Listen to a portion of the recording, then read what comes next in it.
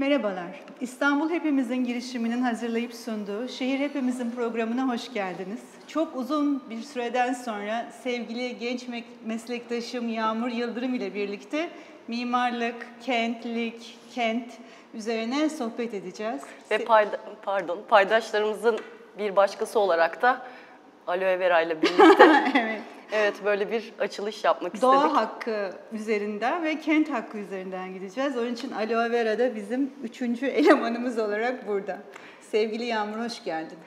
Hoş bulduk. Çok teşekkürler çağırdığınız için. İpek Hoca ile burada olmak büyük mutluluk.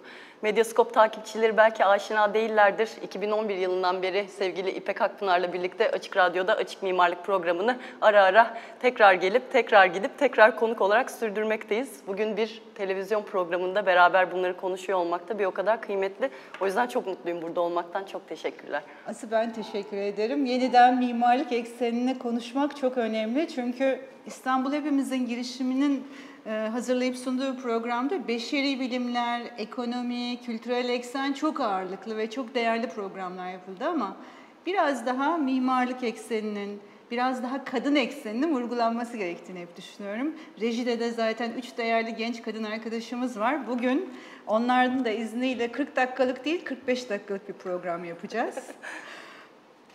Platformu ele geçirdik sevgili Gürhan diyebiliriz. Kendisine buradan selam gönderiyoruz ve çok teşekkürler benim de buraya gelmeme vesile olduğu için sevgili Gürhan Bey. Şehir hepimizini evet severek takip etmekteyiz. Bugün burada olmak da ayrıca mutluluk buradan konuşuyor olmak. İpek Hoca'nın da söylediği gibi biraz daha yerinden bildirmek, biraz daha sokağa temas etmek, betona temas etmek, bitkiye temas etmek ve oradan konuşmak da bir o kadar önemli diye düşünüyoruz. O yüzden sizin de söylediğiniz gibi iki kadın mimar kimliğimizle buraya gelmiş olduk. Şimdi aslında bugün neler konuşacağız? Bugün aloe vera dışında e, yerel seçimlerin ardından e, yerel seçimler öncesi masaya yatırılan e, çok değerli projeler var. Biraz bunlar üzerine mesleki bir sohbet yapmak istiyoruz.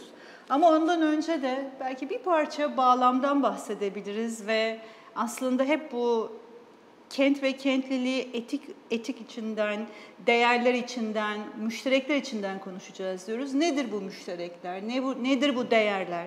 Veya bana göre, Yağmur'a göre başka değer, Reji'ye göre, Gürhan'a göre başka değer mi diye e, masaya konulan sorular var. E, biraz onlar üzerinden sohbet edelim dedik. E, biz aslında uygulama yapan mimarlar grubu değiliz. Yani mimarlık sadece uygulama yapan bir gruba ait değil. Mimarlık ya da yapısal çevre sadece mimarların, plancıların, kentsel tasarımcıların bilgisiyle egemen oldukları bir alan olarak tarif edilemez. Onun çok değerli başka paydaşları var. Sıradan insanlar, kullanıcılar, yatırımcılar, e, kentliler, insan olanlar bir de insan olmayan paydaşları var. Bu yüzden de müşterekler dediğimiz zaman çok daha geniş bir kavramı kastediyoruz. Yani müşterekler ışığında biz sevgili Ekrem İmamoğlu'nun projelerine bakarken ikimiz de kediciyiz bu arada. Kedilerin gözünden hayvan dostu bir kent mi, kadın dostu bir kent mi, çocuk dostu bir kent mi, yaşlımıza saygılı e, bir kent mi diye bakmaya çalışıyoruz. Yani aslında gündelik hayatta sıradan, banal olarak tanımlanan şeylerin planlamanın, tasarımın, kentsel tasarımın olmazsa olmaz paydaşları olduğunu söylüyoruz. Ve tabii ki yeşille ilişkili konulara biraz daha fazla gireceğiz değil mi sevgili Yağmur? Evet öyle düşünüyoruz. Bir yandan yerel seçimler sürecinde iki adayın da tekrarlanan seçimler sürecinde kentle ilgili pek çok vaadi vardı. Şu anda da ekranda görmüş olduğunuz aynı zamanda bizim programın da duyurusu olan benim geçtiğimiz aylarda seçim vaatlerinin çokça konuşulduğu dönem çekmiş olduğum fotoğraf. Bu hangi iskeleden yani? Kadıköy iskelesinde. Bu galiba Eminönü ya da Adalar Vapuru'nu bekleyenler Çok o sürede. Süper. Kentlilik dedik, paydaşlık dedik. Sadece insan merkezli olmayan müştereklerden söz ettik. Ortak paydadan söz ettik. Burada o yüzden de o fotoğrafı kullanmayı bir o kadar önemli bulduk. Bu yine benim çekmiş olduğum bir önceki 8 Mart'ta çekmiş olduğum bir fotoğraf. Kadın dostu kentlerden bahsettik az önce. Onun üzerinde bunu görmek iyi geldi. Sokakta olmak, arkada Narmanlı Han'ı görüyorsunuz mesela. Şu anda işte oradaki ilk yeni mağazaların işlemeye başlamasıyla beraber geçtiğimiz haftalarda başka türlü bir tartışma olmaya başladı. Nasıl bir koruma yaklaşımı olmalı ya da korumalı mı, korumamalı mı, yenilemeli mi, içine nasıl girilmeli bunlar konuşulurken bir yandan bu fotoğrafı görmek manidar oldu arkadan Armağanlı Han'ı da görürken. Bu yine benim geçtiğimiz yıl çekmiş olduğum tarla başından bir fotoğraf. Arkada Dolapdere, Eylül ayında yeni bir müze açılıyor. Orada başka türlü bir kültürel dönüşümden söz etmek son derece olası son yıllarda. Biraz biraz bu fotoğraf üzerinden konuşalım mı? Aslında bu e, yani mesela gerideki e, gökdelenler, e, bu Neil Leach diye bizim çok sevdiğimiz bir mimarlık yazılarını genelde toparlayan, edit eden çok değerli bir araştırmacı var. Bu Anesthetics of Architecture kitabında bu mimarlığın e, küresel dünyada görüntü takıntısı olan toplumla olan ilişkisinden bahsediyor. Yani bu işte görüntü takıntılı toplumun hep o arkadaki parlak işte cam cepheler, lüks lüks malzemeler üzerinden e, sürekli ürün veren mimarları betimliyor. Yani mimarların toplumu denden içinde kullanıyorum. Toplumu uyutmak için görsel imgelerle estetik adına anestezi yapma çabasını aslında hazin bir dille dile getiriyor. Ee, ekonomistler genelde e, bu arkadaki o silüetteki olağanüstü tabii bir ürün, bir mimar kimliğiyle ben bizim o işleri e, yatsımamız, kötülememiz olası değil. Büyük yatırımlar. Türkiye ekonomisinin sonuçta gayri safi milli hasılasının yüzde 45'i hatta 47'si bu kent üretiyor. O binalar bu anlamda bu gayri safi milli hasılada çok değerli bir istatistikte değil mi? Çok değerli bir yere sahip. Ama aynı zamanda az önceki görseldeki o önündeki yapılı çevreye bakmanın da öneminden bahsediyoruz. Yani bizim Ayşe teyzemiz, Hasan amcamız bu yapılı çevrede yaşıyor. O büyük gökdelenlere hizmet veren grupta bu, bu, bu yapılı çevrenin insanı. Yani peki bu da bir mimarlık değil mi? Bunlar aslında kaçak binalar değil, imzalı ve aslında ayrışan kentin değil mi? Ekonomik, toplumsal, kültürel ayrışan hatta kutuplaşan bir toplumun e, kentleşmesi olarak da bir şekilde yansıyor. Buradaki çelişkiler, sıkıntılar çözülmediği sürece, bunlar masaya yatırılmadığı sürece, orada yaşayan Ayşe teyzenin sorunları konuşulmadığı ve bunlara doğrudan gündelik hayatında çözümler üretilmediği sürece ki birazdan o projelere bakacağız. Bu ayrışmış durum, finansal finansal ayrışım, kültürel ayrışım yani yaşam insanlar çünkü sevgili Çağlar Keyler'in söylediği gibi yaşam mekanlarında, çalışma mekanlarında bir de işte hani dışarıya çıktıklarında sosyal hayatlarını geçirdikleri zaman diliminde ayrışıyorlar diyorlar. Ee, bunları, bunları çözmek tabii ki mimarlığın tek başına e, yapabileceği bir şey değil. Bunlar çok çetrefil, çok karmaşık bir e, gelin mimarlar bunu çözelim demek istemiyoruz. Ama mimarlar olarak bunun farkına varalım ve üretilen mimarlık projelerinin ve kentsel tasarım projelerinin bu sorunun, bu güncel hayatın, bu gündelik hayatın farkında olmasının altını çiziyoruz. Ee, yani 20. yüzyılın modern kentine ideolojik anlamını veren kentsel mekandaki aslında kamusal bütünlük giderek parçalanıyor. Yani bu parçalanmayla e, projeler nasıl baş edebilir? Kamusallıklar ya da ayrışımlar nasıl giderilebilir? Kentli, farklı farklı paydaşlar, farklı sosyolojik gruptan kentler nasıl buluşabilir? Farklı yaş grupları nasıl buluşabilir? Masadaki sorularımız bunlar. İstersen böyle yavaş yavaş hep böyle umutsuz bağlamdan bahsetmeyelim. Umutlu fotoğrafla evet, başlamıştık umutlu, ama. umutlu fotoğraflara geçelim ve biraz da projeler üzerine konuşalım. Ne dersin? Evet, Medyaskop takipçileri ve ben de aralarına dahilim. Seçim sürecinde olsun, seçim sonrasında olsun zaten bir umutla insanların bir araya gelmesi ve ilk defa mesela Bekir Ardır'ın burada konuk olduğu harika bir fotoğraf, ıı, program vardı. O çok güzel bahsetmişti. İlk defa insanların bir şey yapabileceklerine dair inancı tazelenmiş evet. oldu ve bu evet. rakamlara yansıdı diye buradaki programda yine bir pazartesi günü evet. akşam üzeri saatlerinde konuk olduğu programı çok güzel dile getirmişti. Gerçekten bir umut var ve bu umuda tamamen kapılmadan da şurada bunları konuşmayı ben o yüzden de çok önemsiyorum. 5 senelik önümüzde bir süreç var. Bu seçim sürecinde birçok vaat ortaya kondu. Kent hakkı ile ilgili, geçmişte bağlarımızla ilgili, mirasla ilgili paydaşlarla ilgili, kadınlarla, çocuklarla, kent yoksulluğuyla mücadeleyle ilgili pek çok aslında vaat ortaya kondu ama radyo dalgaları ya da televizyon dalgaları üzerinden biz bunu bir not olarak düşelim ve 5 sene sonra döndüğümüz zaman bu programı izlediğimiz zaman en azından bir notumuz olsun. Evet bunlar vaat edilmişti ama bunların ne kadarı gerçekleşti ya da bunlar süreçte nasıl ilerleyecek? O yüzden burada konuşmayı ben önemli buluyorum ve böyle bir imkan sunduğunuz için tekrar teşekkür ediyorum. Sevgili Yağmur ne demek? Peki o zaman aslında mimari tasarımlar veya önerilen projeler hangi değerleri savunuyor?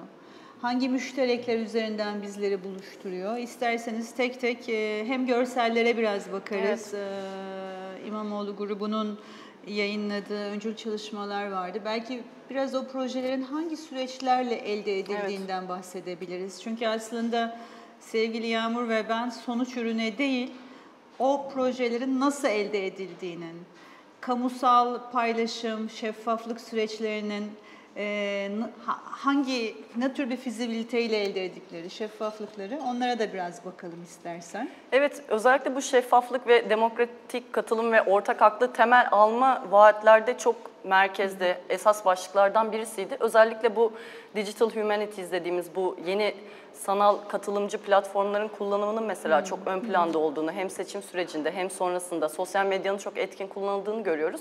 Bu anlamda bu nasıl bir yeni kentliliğe 5 yıl boyunca işaret hmm. edecek. O ben de hani heyecanla beklediğimde bir soru diyebilirim. Bir yandan da önümüzde İstanbul Hepimizinin İstanbul Sözleşmesi de açık. Çünkü hemen bu, hemen hemen gösteriyoruz tekrar. Evet, 7 renkle birlikte 7 başlığa da yine sahip olan İkisini yan yana koymak da hem seçim vaatlerini hem de İstanbul Sözleşmesi'ni bu anlamda da bana kendimi iyi hissettirir. Çünkü bu sözleşmeyi de takip edebiliriz ve bu 5 sene içinde de buradaki başlıklar üzerinden bunların nasıl, ne kadar ya da hangi süreçlerle gerçekleştiğini de tartışabiliriz.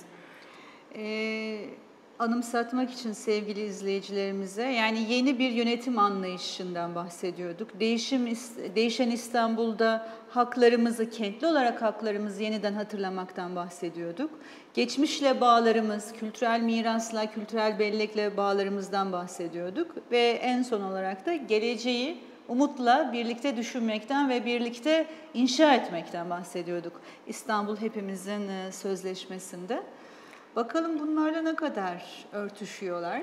Biraz evet. onları masaya yatıralım. Çünkü aslında e, mimari tasarım, kentsel tasarım çok kolay konular değil. Planlama, yani stratejik planlamanın olmadığı, master planının helikopterden bakılarak e, geçtiğimiz e, 25 yıl içinde defalarca delindiği bir ortamdan bahsediyoruz. Evet. Ortak akılla 400 uzmanın ürettiği master planın e, pratik olarak uygulanamadığı bir ortamdan bahsediyoruz. Yani bu kadar belirsiz ve muğlak bir ortamda e, adı konmamış ekonomik zorlukların da olduğu bir ortamda yeni projeler üretmek e, ve bir duruşu olan projeler üretmek aslında çok kolay bir iş olmayacak. Çok çetrefil bir süreç olacak. Ama bazı projeler çok umut verdi bize Yağmur'la bakarken. Evet, hayli kalabalık onların... bir defterimiz de burada var. Hepsinin notlarını da aldık. Bir yandan mesela sizin söylediğiniz üzerinden şunu da tartışabiliriz. Ben sürekli artık tüm günümün neredeyse karbon ayak izini hesaplayıp dehşete düşerek geçmeye başladım. Hmm. Mesela bunu şunun üzerinden de tartışalım. Az önce bu Tarlabaşı üzerinden Dolapdere'ye baktığımız görseli görmüştük. Orada yine bir yapıl çevreden hmm. bahsediyoruz. Yapıl çevre üretimi sadece gökdelen inşa etmek değil, onun içindeki işte bir kaldırım düzenlemesinden tutun. Burada görmüş olduğunuz yenileme çalışmaları ya da yıkıp yeniden yapma, restitüsyon ya da rekonstrüksiyon çalışmaları da bir yapılı çevre üretimi ama Örneğin şu bana çok ilginç geldi.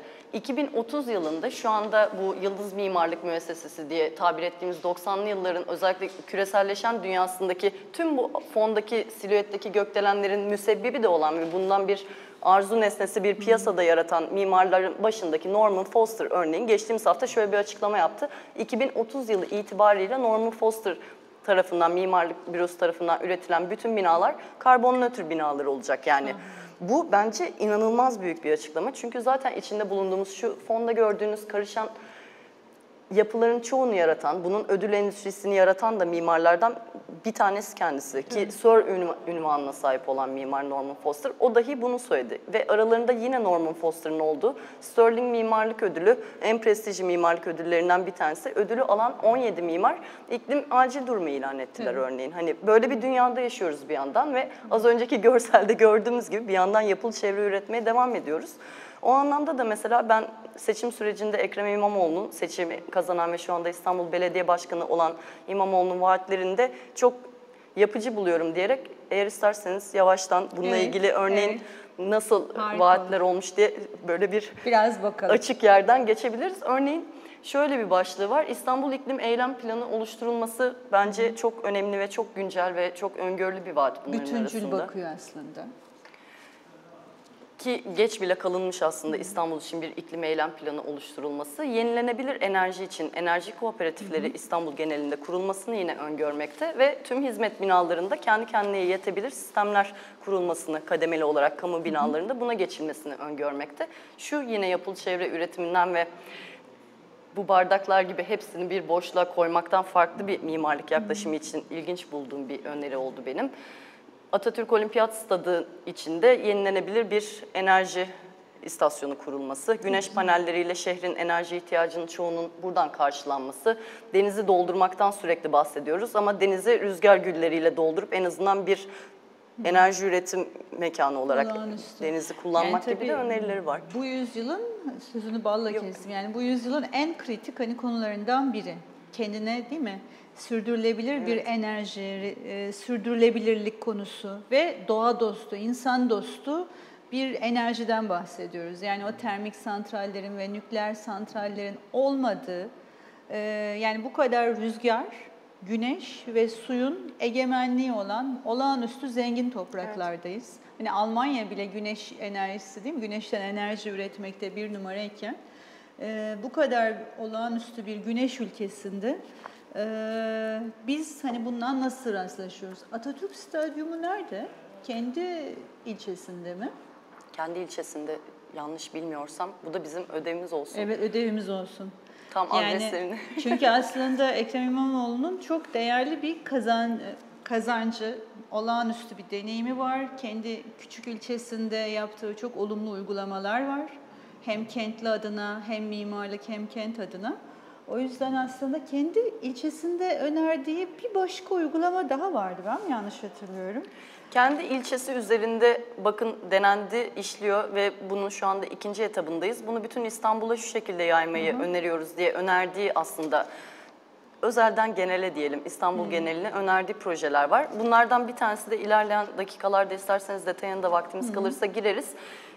Yarışmalarla ve özellikle ihale yoluyla olmadan işleyişe geçirdiği projeler var. Bu yarışmayla yapmayı özellikle mimarlar çok önemserler ki kamu ihalelerinde ya da kamu projelerinde diyelim daha doğrusu. Bunu aslında bir parça daha açabiliriz. Evet. Yani şeffaflık, kamu kamu projesi yaparken, kamu için bir şey yaparken eee kamuya açık, bütün mimarlara açık, bütün tasarımcılara açık ve şeffaf bir süreçle e, yarışma elde, yarışma ile bir proje elde etmek çok daha fazla tartışılabiliyor. Çok daha çok daha hele iki etaplı bir proje yarışmasıysa değil mi? Önden kentsel tasarım proje yarışması, ardından mimari ölçekte Evet. bir yarışma. Çok daha billurlaşmış, çapaklarından arındırılmış, daha fazla konsensus ve tabii ki jürideki paydaşlarla birlikte çok daha iyi tartışılmış, belediye ile birlikte tartışılmış bir süreç geçiriyor. Bir de kamu kaynaklarını çok daha şeffaf bir şekilde ve çok iyi bir projeyi elde etmek için ilk üç olabilir, sonra tekrar halk oylaması yapılabilir. Her, çeşit çeşit yöntemleri var. Üçüncü etabı bile olabilir. Ama şeffaflık adına galiba kamu yönetiminde en değerli şey kapalı kapılar ardında e, projeleri müteahhitlere değil, önce o konunun uzmanları üzerinden mimarlık veya tasarım yarışmaları, kentsel tasarım yarışmaları veya planlama yarışmaları açmak diyoruz. Evet, örneğin bunun çok ilginç örnekleri var. Lüleburgaz Belediyesi'ni takip etmenizi ben öneririm.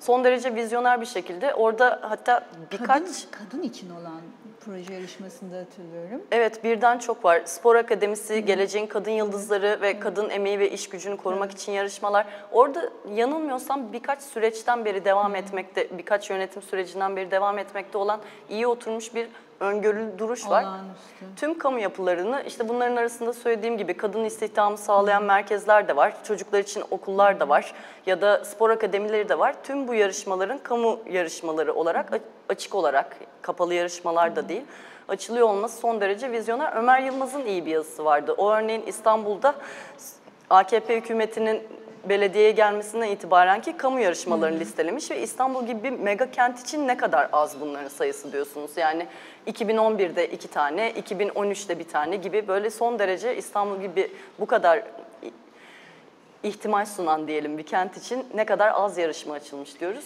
Biz e, ikinci dönemiydi. Sayın Topbaş'la 45 mimar bir randevu aldık. Kendisini ziyarete gittik. Ve ricamız sadece şuydu. Yani durun diyemeyiz. Tamam gayri safi milli hasılanın hep böyle herkes matematik söylüyor ya 45'i. Okey. Tamam kabul ediyoruz. Durun diyemeyiz. Ama biraz yavaşlayın. Sevgili Ertuğ, sevgili Ertuğ Uçar'ın lafıydı. Yani tamam durmayın ama bir parça yavaşlayın.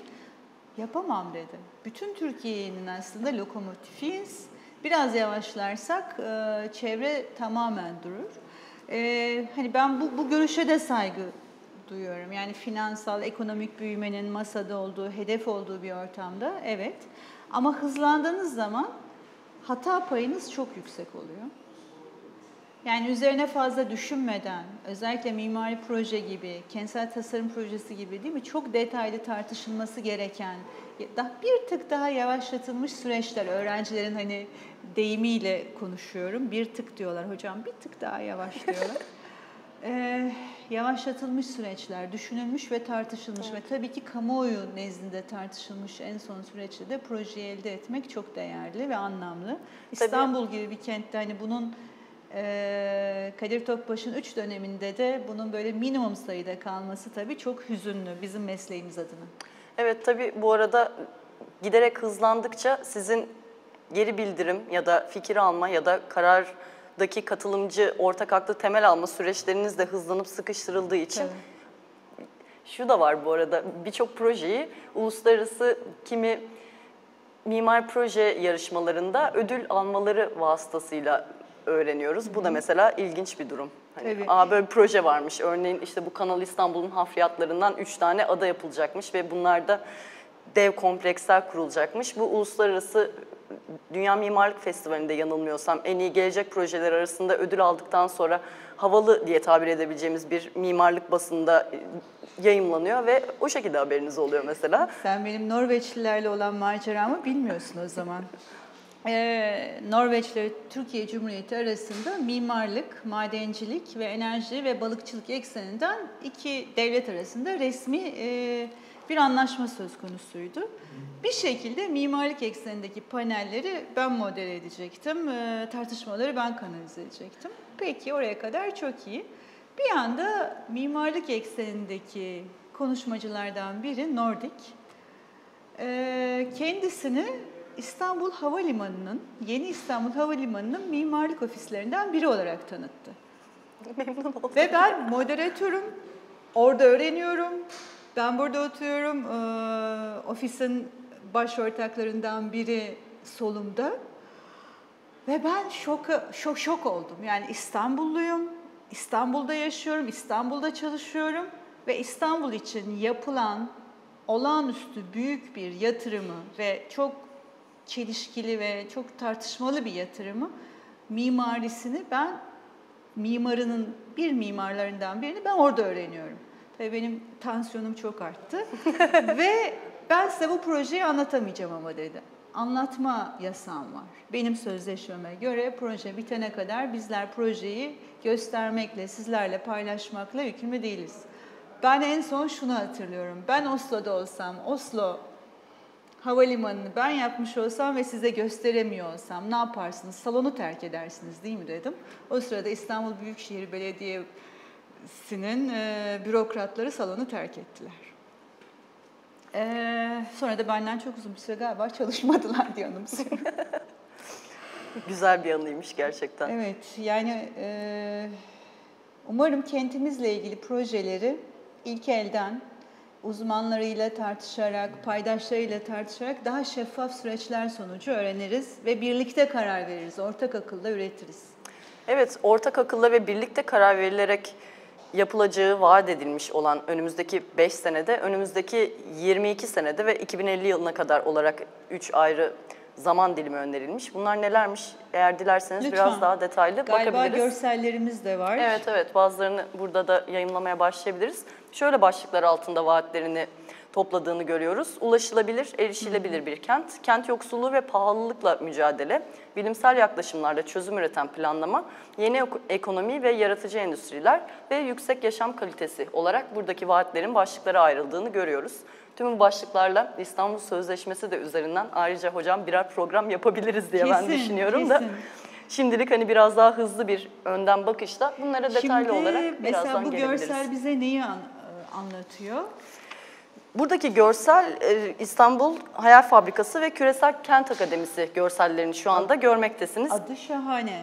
İçeriği ne olacak? Evet bunlar nelermiş? Bu arada şunları da söylemiş olalım. Tüm görseller ekremimamoğlu.com adresinden projelerimiz sekmesinden alıntıdır. Bir başka Küresel Kent Akademisi görselini görüyorsunuz.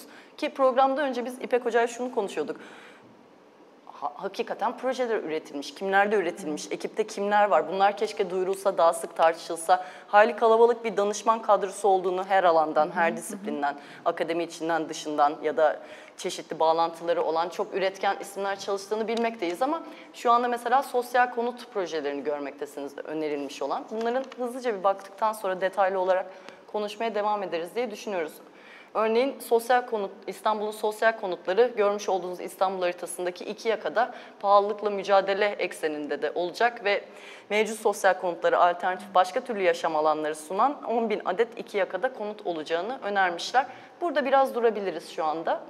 Bu yine vaatler arasında az önce ulaşım planını gördüğünüz İstanbul üzerindeki yaşam vadisi önerilerinden bir tanesi. Çünkü az önce şeyden bahsetmekteydik. Beylikdüzü Belediye Başkanlığı'nı yürütmekte olduğu sırada yapmış olduğu projeleri bakın biz bunu bu şekilde yaptık. Böyle işlemekte yapılmış var. Bunların bir kısmını da İstanbul geneline yayacağız diye bir vaadi vardı. Şu anda televizyonda görmüş olduğunuz görselde bu kapsamda önerilen Yaşam Vadisi projesi.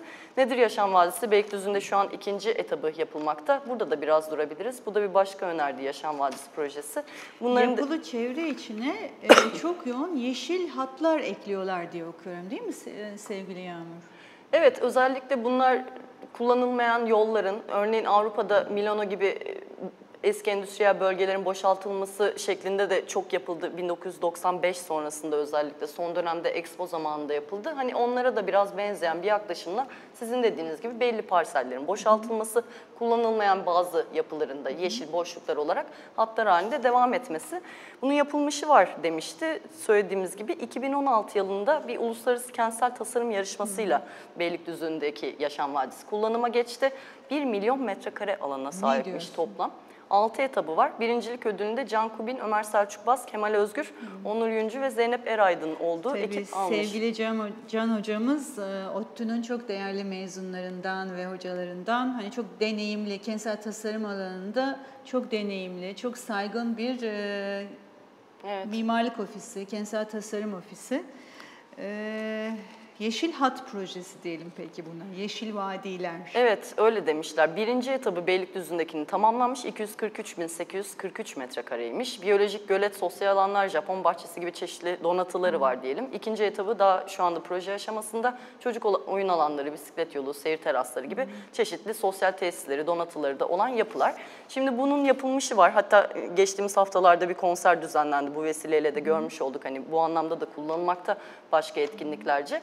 Bunun benzerini de bütün İstanbul'a yapmayı öneriyorum diyor. Tabii bu bir taraftan da e, yani biz kentli olarak bütün bu konutları konuşurken TOKİ konutlarını, TOKİ eliyle de aslında konut üretiliyor ama TOKİ aslında kent yoksulu için, alt gelir grubu için Evet. konut üretme rolüne, e, rolüyle, yasayla kuruldu.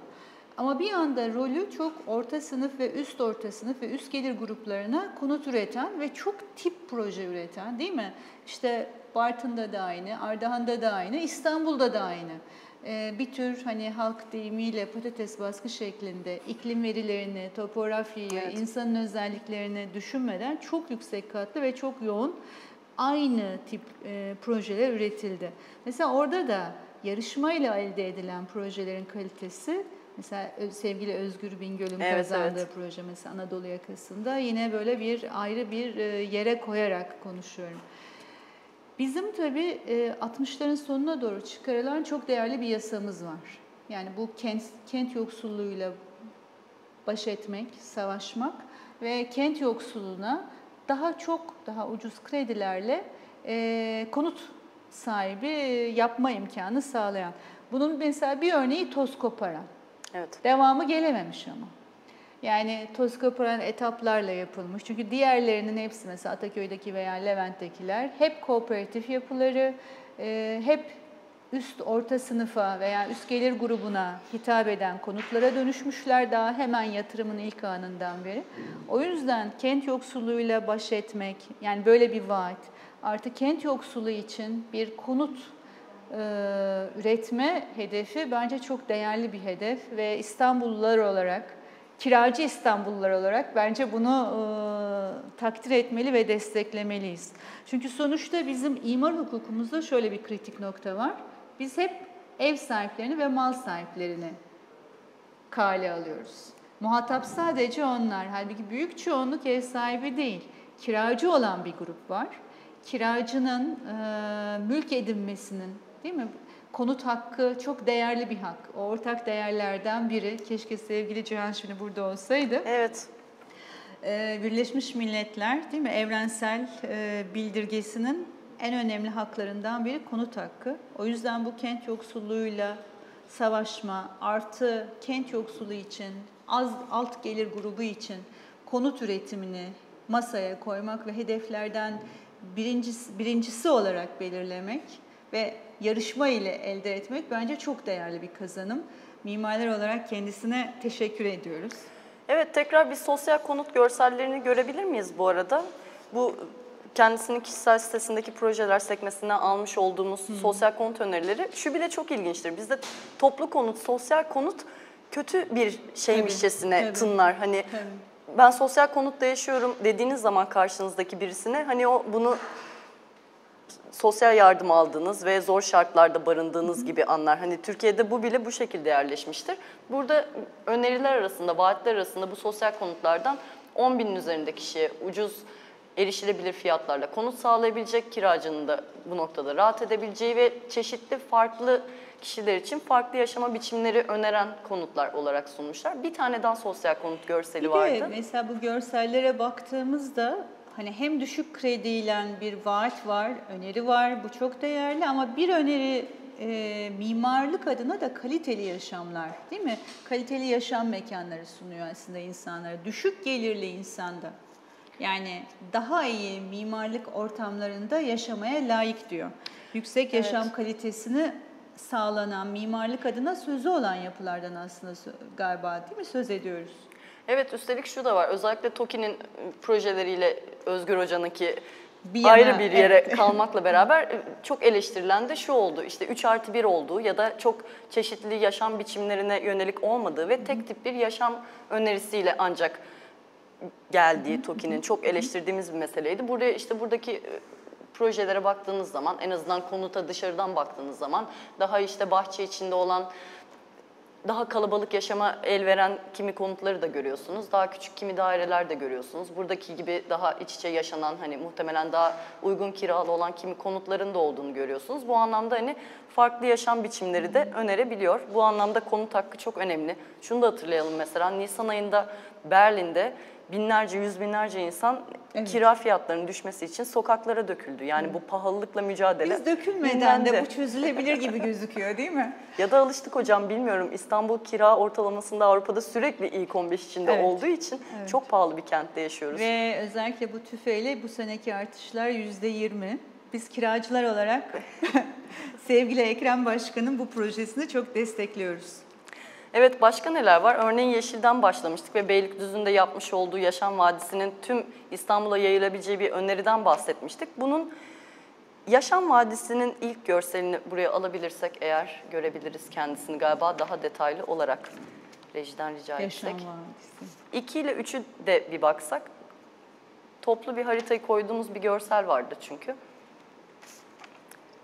Evet, burada mesela durabiliriz. Bu ilginç bir öneri diye düşünüyorum. Bilmiyorum siz ne diyorsunuz. 15 adet İstanbul genelinde yeşil vadi önermiş. Toplam 20 milyon metrekare alanda az önce görselini gördüğümüz gibi çeşitli parsellerin boşaltılması ile büyük yaşam vadisi diye ismini koyduğu koridorlar aslında yeşil ekolojik koridorlar diye önerebiliriz. Oluşturulması önerisi var. Yani aslında bu öneri e, keşke burada bir plancı dostumuz olsa onlar e, planlama uzmanıyla birlikte konuşsak. Mevcut aslında hani topografyası, kentin topografyası, kuzey ile güney arasındaki mevcut klima hareketleri, iklim hareketleri artı mevcut derelerin tabii canlandırılmasına yönelik o, o derelerin, o su, su yataklarının, vadilerin çok olumlu anlamda kentle buluşması, kentliyle buluşması olarak okuyorum. E, bir mimarın terminolojisiyle bir planlama projesi anlatıyoruz ama bizi affederler umarım. Bize hoş görürler umarım. Evet. Bu noktada şu da önemli diye düşünüyorum. Özellikle Türkiye'de dere ıslahı diye dere yataklarının betonla doldurulması, Üsküdar'ın her yaz dolayısıyla sel altında kalması, çünkü betonun su geçirimsiz bir yüzey olması, dolayısıyla bütün bu dere ıslahlarının sonunda geçemeyen, zemine karışamayan suların sel baskınlarına sebep olması İstanbul'da da her yaz bir problem olarak hatta ölümlere, yaralanmalara, büyük maddi hasarlara sebep olan bir sorun. Dolayısıyla bu yenilikçi bir öneri İstanbul gibi bir kentte diye ben düşünmekteyim. Peki sevgili Yağmur ben burada aslında Kanal İstanbul projesini görmüyorum değil mi? Merkezden e, önerilen bir projeydi. Ee, geçmiş dönem belediye başkanlarının reddedemediği bir proje oldu. Çok hani e, büyük ölçekli bir infra, infrastruktür yatırım olarak ama şu anda haritada yok. Bunu Yani böyle parmaklarımızı çapraz yaparak uygulanmaması yönünde dileklerimizi iletelim o zaman. Evet, bunu şöyle de düşünebiliriz. İlginç bir şekilde proje vaatleri arasında yapılmakta olan ya da tamamlanmamış projelere dair ucu açık bırakılmış kimi süreçlerden bahsediliyor. Örneğin sizin söylediğiniz gibi Kanal İstanbul'dan bahsedilmiyor ve örneğin Atatürk Havaalanı halen tam taşınacak mı, taşınmayacak mı, kapatılacak mı, ne olacak tartışmaları devam etmekteydi seçim sürecinde. Onunla ilgili örneğin Atatürk Havaalanı'nın havaalanı işlevini kaybetmesi halinde gibi bir ibare vardı. Siz ne dersiniz hocam bilmiyorum. Bir başka akademi olacağı ve buradaki terminal yapılarının çeşitli üniversiteliler ya da çeşitli hocalarca kullanılan başka bildiğimiz anlamda üniversiteden farklı türlü bir alternatif akademi olarak işlemesi öngörülmüş. Ben tabii bir Atatürkçü, yani Atatürk Havalimanı'nın yoğun eski kullanıcılarından biri olarak ve dünyanın da ilk üçünde olan bir havalimanının hani kapatılması e, ve orman alanlarının üzerine çok büyük bir e, ölçekli artı çok büyük maliyetli bir yatırımın yapılmasında çok ciddi çekinceleri olan bir mimarım ve öğretim üyesiyim. Hani bunun üzerine de defalarca konuştuk, yazdık. Ama şu anda uygulandı. E, Atatürk Havalimanı şu anda aktif olarak kullanılıyor aslında. E, uçak yolu benim evimin üzerinden geçiyor. Çok yoğun bir kargo taşımacılığına, nakliye nakliye için çok yoğun kullanılıyor ve tabii Sayın Cumhurbaşkanımız kullanıyor. Bugün de 15 Temmuz e, anma etkinliklerinin e, merkezi Atatürk Havalimanı. Yani çok hala çok işlevi var. Hala çok değerli bir mimarlık yapısı. Sayın e, Tabanlıoğlu'nu da, Baba Tabanlıoğlu'nu da Evet. E, sevgi ve saygıyla buradan analım. Çok çok özel, kesiti, planı çok Evet. özel. Saatlerce yürümediğiniz o kadar büyüklüğüne rağmen insan dostu, kullanıcı dostu bir plan nasıl çözülebiliyormuş deneyimliyoruz. Diğerinde öyle bir şey deneyimleyemiyoruz. Ben deneyimlemedim henüz hocam. Onu ayrıca bir programda konuşuruz Tamam, isterseniz. Tamam. Yıldız Hatta mimarların önce deney- deneyimleyip beraber. Evet deneyimledikten sonra onu da konuşabiliriz.